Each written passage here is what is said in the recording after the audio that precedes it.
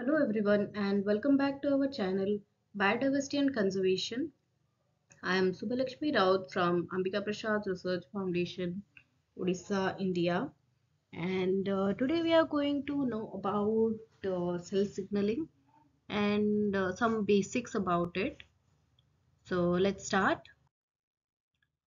So what is cell signaling?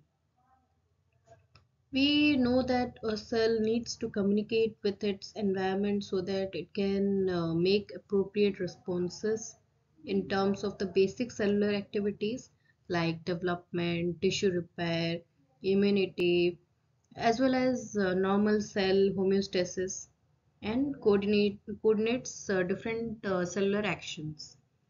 So cell signaling um, has been the most extensively studied uh, um, part in contest of human diseases and uh, signaling between the cells of a single organism is uh, uh, very interesting. However, cell signaling may also occur between the cells of two different organisms also and uh, we will know about this and more in developmental biology. And uh, cell signaling basically is the process by which um, a cell interacts with itself other cells and the environment. And it is a fundamental property of all cellular life in uh, in prokaryotes and eukaryotes. And um, how a cell signaling actually occurs. Uh, there must be some signaling molecule. There must be a receptor which will uh, receive the signaling molecule. Then after receiving, they uh, will conduct some um, signal transduction process. Then there will we will get a response, which is uh, the product or after effect which helps in our daily life processes. So here the ligand is the signaling molecule. There may be a hormone or a growth factor or polypeptide or cytokine etc. And uh, the signaling molecules are released by signal producing cells.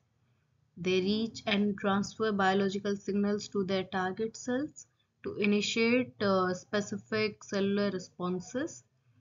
Uh, the conditions on which signaling mainly depends is the activation of receptor by the ligand.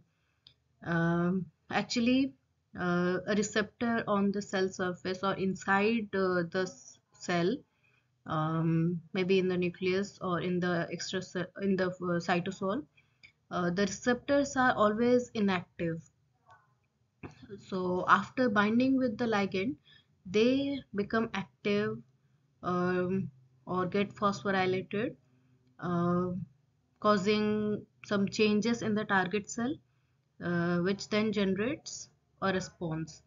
Uh, so now here are the stages of uh, cell signaling. So there are mainly three stages uh, in cell uh, signaling.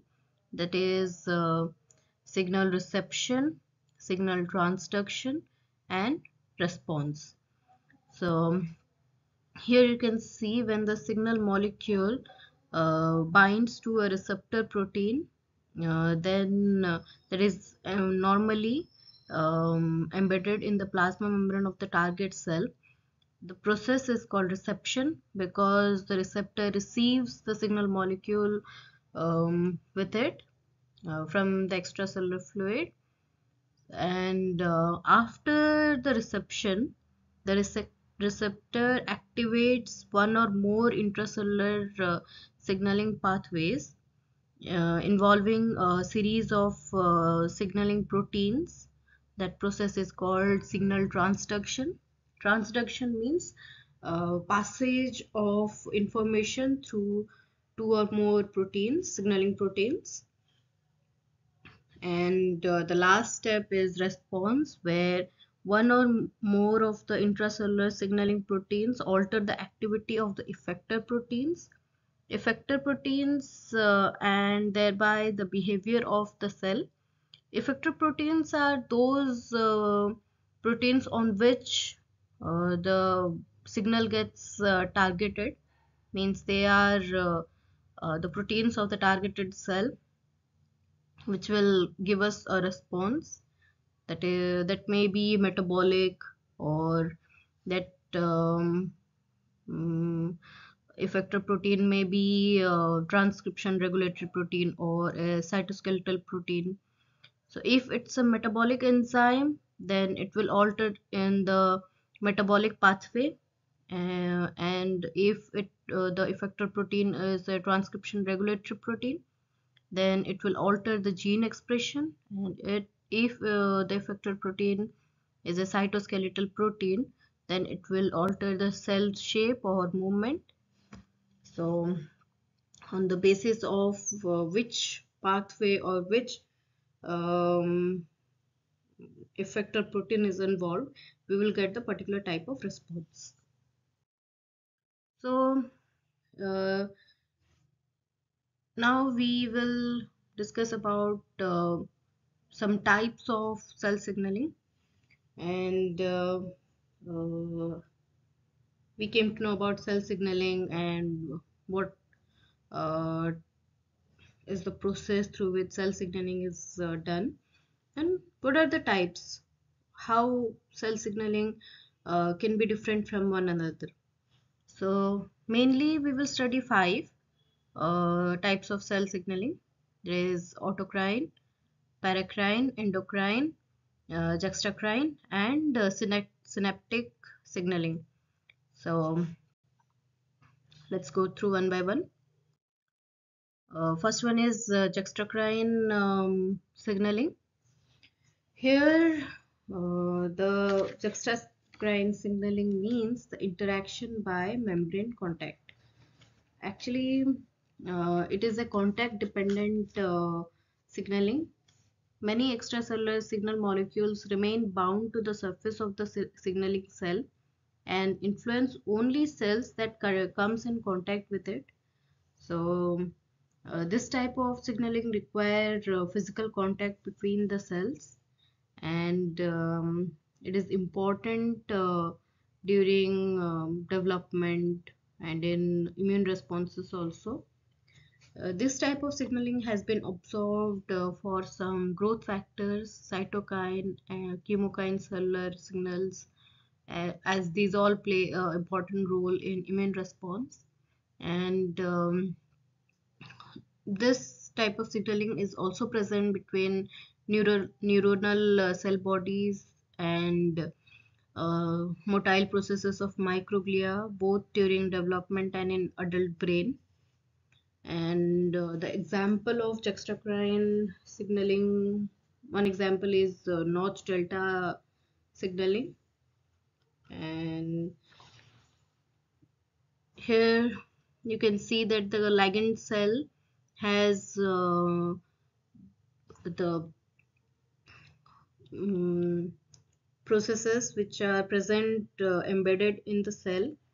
And um, these these uh, processes uh, get attached to the receptor cell and uh, after direct contact the signaling carries out and we get the response.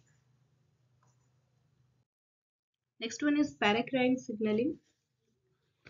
In most cases signaling cells secrete uh, signal molecules into the extracellular fluid. Uh, often the the secreted molecules are local mediators which act uh, only on cells in the local environment of the signaling cell.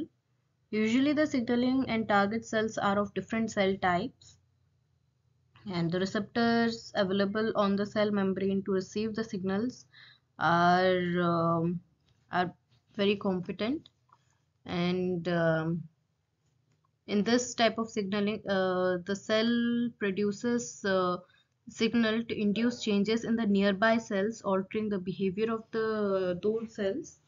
And uh, they actually act in uh, uh, short distance only so called as uh, local action.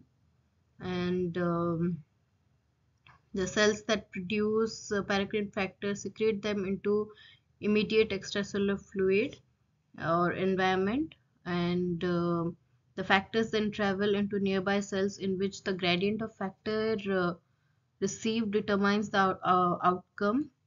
Um, the distance uh, here plays a major role.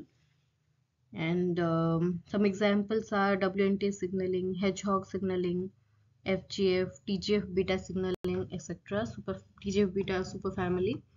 Uh, these are the um, examples of paracrine signaling.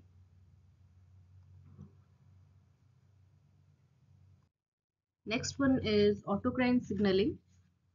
Uh, the autocrine signaling uh, involves a cell secreting a hormone or chemical messenger that binds to the autocrine receptor on that same cell leading to changes in the cell itself and um,